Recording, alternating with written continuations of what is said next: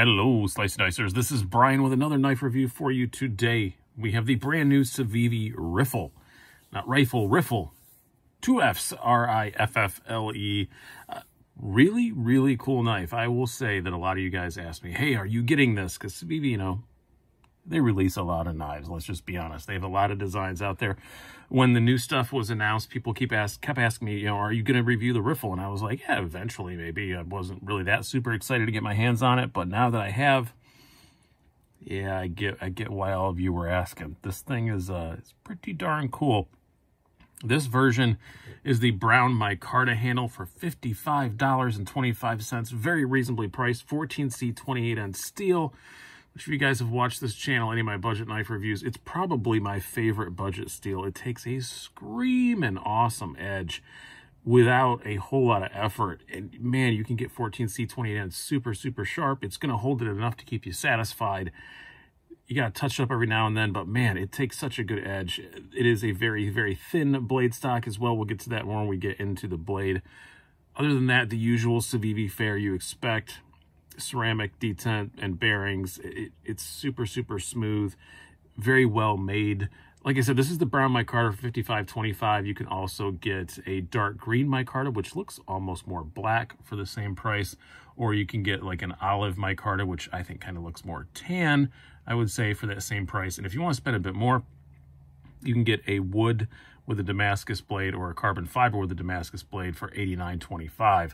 Uh, those are super nice looking, I will say, especially that the sandalwood. It's like a dark reddish wood with that Damascus. Looks amazing.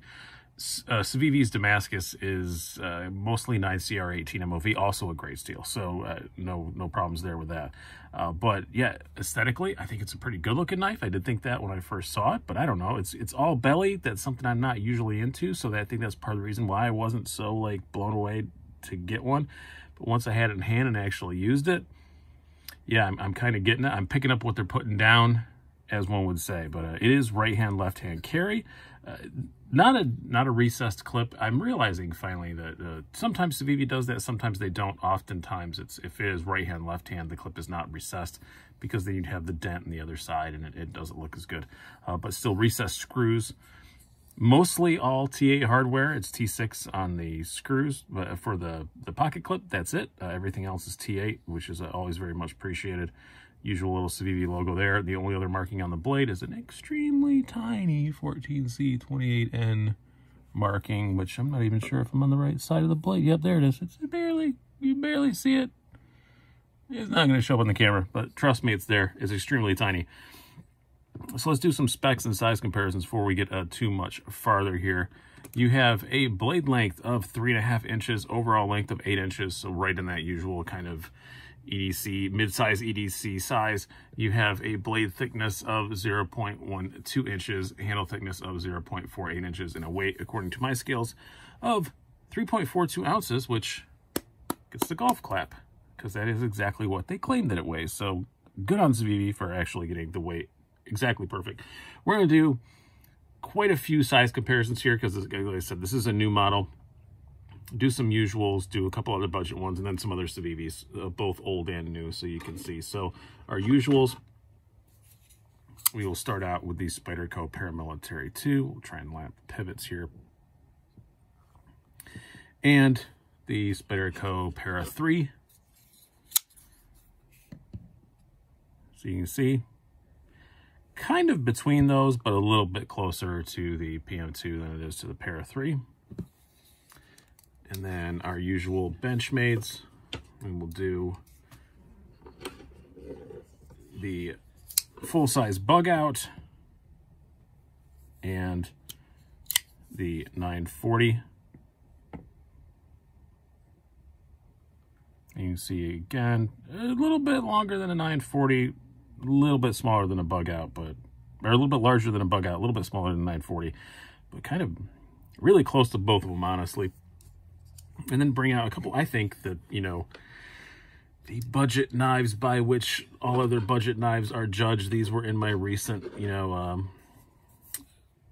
uh, my recent video about you know knives that kind of define their class. So this is the Rat Model 2 and the Rat Model 1. So yeah, this is, it's almost more exactly halfway between these two. So a little bit smaller than a Model 1, a little bit larger than a Model 2, quite a bit larger than a Model 2 actually. And now we'll bring out some of its brethren, some other Civivis. We'll start out with some, uh, I guess, classics, if you can call that, with Civivis. They haven't, they haven't been out for that long, but man, they've made a lot of knives. So uh, we'll start out with one of the originals, the Backlash. Very, very, very similar in size to the Backlash. And the Elementum may, may be Civivi's most popular model, I would say, since they've come out. Uh, a little bit bigger than the Elementum, almost exactly the same size as Backlash. And now a couple of newer ones, uh, one of which you will be seeing a review of soon. Actually, re already recorded it, but uh, I wanted to put this one out first. So I think in chronological order, uh, this one's going to be out first. But the Brazen in the Tanto version. And my 2020 budget knife of the year, this was the Ortus.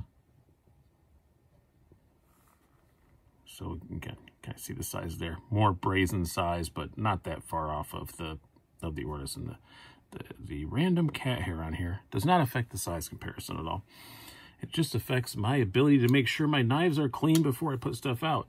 And just, I wanted to show one more just because, you know, to show that not all Civivis are about the same size. Uh, this is one that I obtained for an upcoming video. I'm going to do my top five Civivis ranked you wanted to, and I didn't have one of these. I had to obtain it for that video. So spoiler alert, this one's going to be on there. Uh, the Shredder. This is one of the Damascus blade uh, shredders. So yeah, a little bit smaller than the Shredder. Shredder's a Shredder's a pretty big knife for a Civivi. Um, let's talk more about this knife, the blade. As I said, 14C28N, love it. So glad Civivi is, that's my favorite thing about Civivi in 2021. Everything was either D2 or 9CR18 MOV.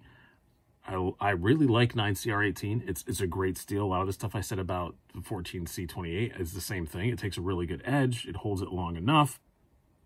And it's not D2.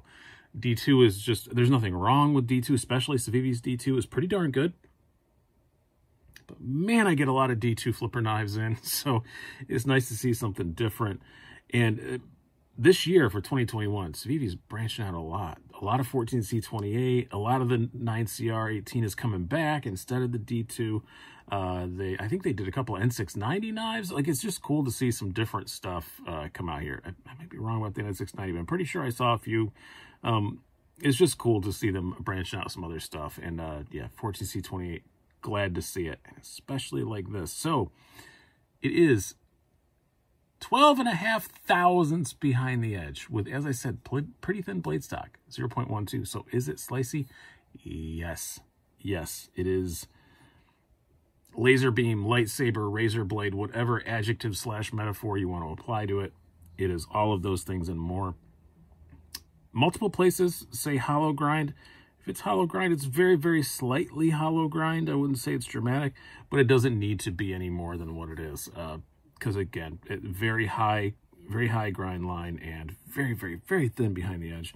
Um, and the tip on it, not, not robust, but not super dainty either. No problem there. If I have one issue the blade, like I said, in my sort of daily use, I prefer to have a little bit of flat and not have it be pure 100% belly. But, you know, that's okay. And some people are going to complain because the giant opening hole, it weakens it. okay, it doesn't. And, you know, stuff's going to get caught in there. Yeah, that might happen. Uh, that's a, a, legit concern, but it's not usually a, a, a big deal in any of my usual tasks. So I'm not too, too freaked out about it. Uh, but yeah, nice looking blade. Definitely fits with everything. And man, this thing is slicey. You know, very, very happy to see that.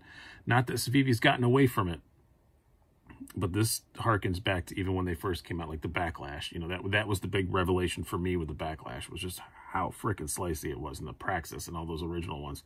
So harkening back to that just a little bit. As far as the ergonomics go, um, just the, I, I had to clap my hands twice, but this oh, wow, it's really, really, really good. Um, you just have plenty of room. I have large size gloves, fairly skinny fingers, but man, I've got all the real estate in the world on this thing. Zero hot spots. The way this pocket clip is angled for my hands is is perfect. Just perfect. The micarta they use, I really like the texture of the micarta they use. It's pretty unique because a lot of times you get either that's a little bit, for lack of better term, I say fuzzy, you know, where it's really my micarta-y, a little bit fuzzy. It feels a little bit rough. It's intended to. Or it's like super shiny like Riat, you know, does, where it's uh, basically like a shellac sort of over top of it. This is kind of halfway between. It's still matte. It's still got a, a, a little bit of texture to it, but it's just a gorgeous and b it's just a, it's just the right amount of feel there it feels a bit more quality than some of the fuzzier stuff but it it isn't like super super slick like the really shellacky stuff. So i really like the texture of it and god it's just awesome. And the jimping up here on the top of the blade is perfect aggressive enough without being too crazy. Awesome ergonomics on this thing. Awesome. Uh, how does it carry in the pocket? Well, let's bring out Ye Levi's and see. I managed to put my keyboard on top of Ye Levi, so I got to move that to the side. Here we go. Uh, pretty good. It slides in and out. Another great thing about that micarta, slides in out of the pocket really easily. Doesn't, you know, no danger of it tearing your, your pants up or anything, but the clip tension is enough to hold it down. Again, it is right hand or left hand. And flipper tab is honestly not not really noticeable. If I stick my Widow Pinky over there and like try and touch it to see where's the flipper tab, I can feel it, but it's, it's, the jimping isn't crazy on it. It's perfectly fine. It's very short. No problems with the carry at all. Weight, 3.42 ounces for a three and a half inch blade. It's a little bit below that, you know, Maginot line of the ounce per inch thing. So uh, that works out pretty good. Action, as, as I almost always say, it's a Civivi. It's great, and it is great. One little caveat with it, but not a huge deal at all. Flipper tab, awesome. Exactly expect from a Civivi. Pretty drop shutty. As you can see, I gave it a little wiggle to get it going, but then it just falls down. Um, on the flipper tab, it is perfect. Uh, this large opening hole, spidey flick it, thumb flick it, it'll do it all day long, but you do have to be just a just a bit deliberate with it. it not enough for me to call it a negative, but it's just not quite as snappy with the thumb or Spidey Flick deployment as it is with the with the flipper tab. You don't have to give any wrist or anything. You just got to be you just got to be pretty. You can kind of you kind of could see it more with Spidey Flick. You just got to be a bit more deliberate with it uh, than you do with the flipper tab. But really, uh, honestly, not enough to complain about. Um. So yeah, great, great knife. You guys bothered me about reviewing this first. I honestly was more excited about the brazen it's Tanto. I like Tantos.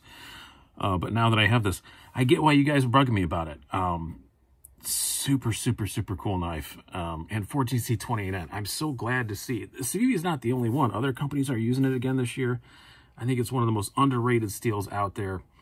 I think like knife guys that know, know that it's amazing, but it's not one that you see like as a highlight reel anymore, you know, and uh, I'm glad to see so many more companies using it and really glad to see Civivi making using it because they make a lot of knives more 14C28N in this price range. Uh, I'm all for it. 55 bucks. I don't see how you can go wrong with this. Uh, all belly. That's the only thing I could see that people wouldn't like about it. I know I'm probably in the minority with that, but I'd like to have a little bit of flat. Other than that, wow. Great ergos. Looks great. This micarta is really, really nice. I don't I don't know what I don't know what else to complain about. Just that I, I would have flattened that blade out a little bit. And uh, that's about it. so I hope you guys have enjoyed this. I've been Brian. Have a good one.